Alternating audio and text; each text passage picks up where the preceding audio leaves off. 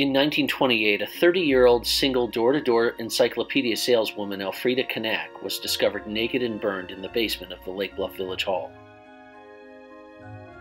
Before her discovery, she had enrolled in a public speaking and salesmanship class taught in Waukegan by Charles Hitchcock from Lake Bluff.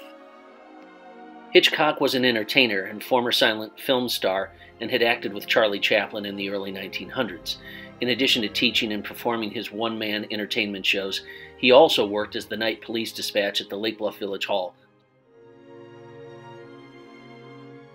The day of October 29, 1928, Knaak attended a sales meeting at her Compton Encyclopedia sales office in Chicago.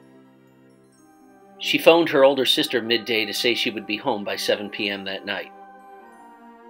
She took an electric North Shore Line train home, arriving at the Highland Park train station where she would normally then take a bus from Highland Park to Deerfield, where she lived. After a long delay, she learns the bus she was to take home had broken down.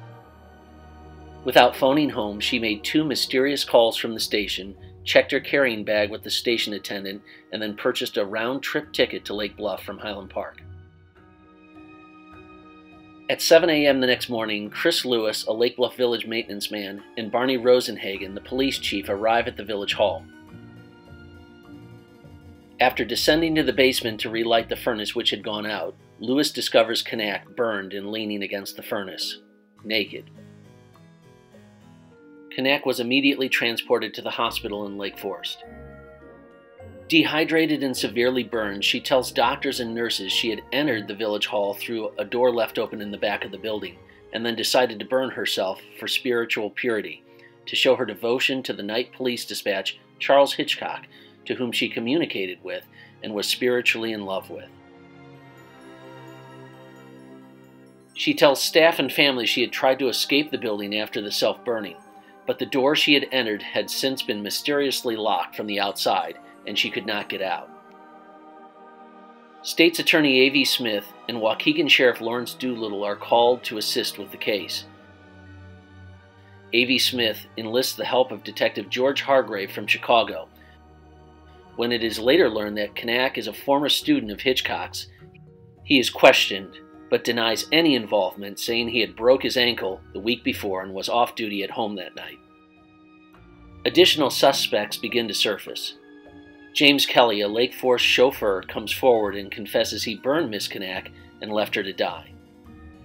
A letter arrives from Chicago to Smith's office from another, claiming he is a reincarnated Egyptian priest and assisted Knaak with the burning but escaped the scene. Yet another suspect surfaces after Miss Knaak's diaries found by family members in her room reveal some sort of romantic relationship with a woman from Libertyville. Knaak succumbs to her injuries and dies November 2nd, four days after arriving at the hospital. A coroner's inquest is held at the Waukegan courthouse two weeks later to determine the cause of death. Knaak's brothers listen that day in disbelief as Hitchcock is cleared of any wrongdoing. The Knaak family, suspecting foul play based on things Elfrida said to them while at the hospital, hired Detective George Hargrave for their own independent investigation. Hitchcock, though not charged for any crime, is asked to resign his position at the police department based on his suspicious relationship to Miss Knaak.